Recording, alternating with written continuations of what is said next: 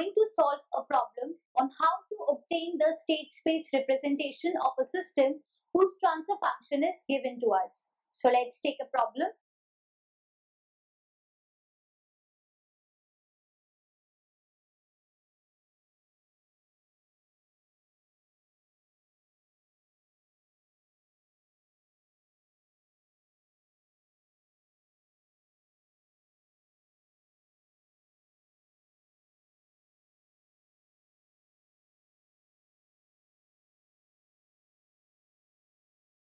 So our problem is to determine the state equations of the system whose transfer function is gs equals to 100 upon s, s square plus 0.1 s plus 10.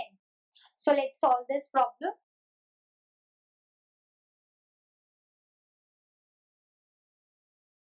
We know that the transfer function, it is the ratio of the Laplace transform of the output and the input so we can write GS is equals to YS upon US and it is equal to 100 upon S S square plus 0.1 S plus 10. Now if we cross multiply this we will get YS multiplied with multiply this S inside so we will get S cube plus 0.1 s square plus 10s equals to 100 us. Now taking inverse Laplace transform of this equation,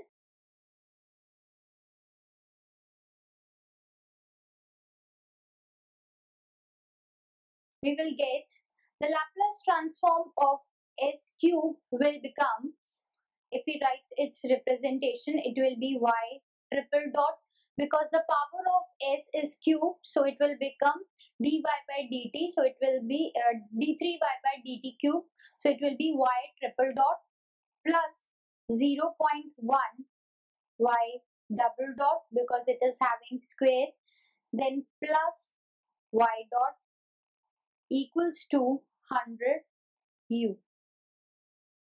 So this becomes the differential equation of the system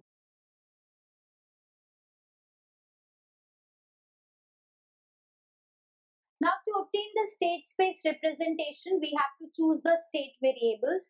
So we will choose our first state variable as y. So let the first state variable x1 is y. So x1 dot will be our second state variable and it will be y dot. x2 dot will be our third state variable and it will be y double dot x3 dot means it is y triple dot. And the value of y triple dot from this equation if we calculate y triple dot all the other variables they will be go they will go to the right hand side. So it will be minus 0.1 y double dot minus 10 y dot plus 100 u so y triple dot is what? x3 dot. So we will put its value here.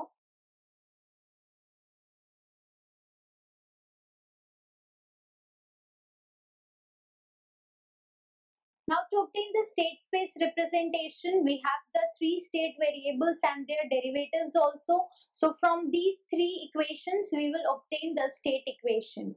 So state equation will be x1 dot, x2 dot and x3 dot combined. So let's form this matrix. We have x1 dot, x2 dot and x3 dot.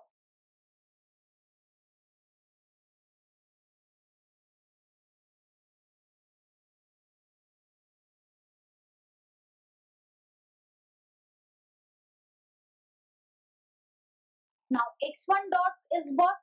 It is x2 so we will write here 0, here 1 and it is 0 because x1 is missing, x2 is its coefficient is 1 and x3 is missing so here 0 and u is also missing so here also we will put 0.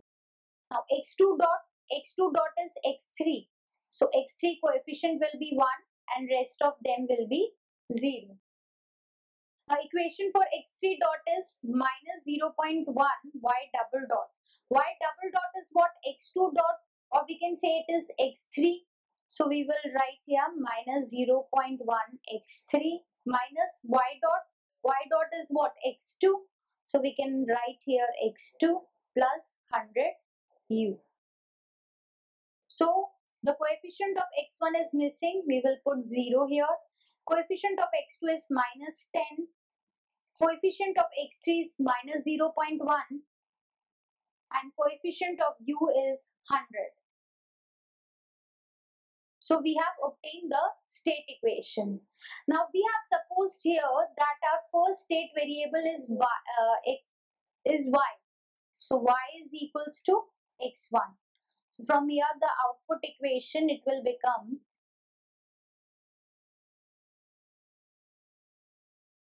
only x1 is present so its coefficient will be 1 and rest of them will be 0.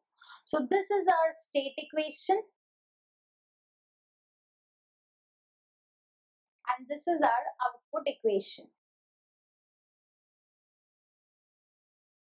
And these two equations, state equation and the output equation, they are combinedly known as the state space equations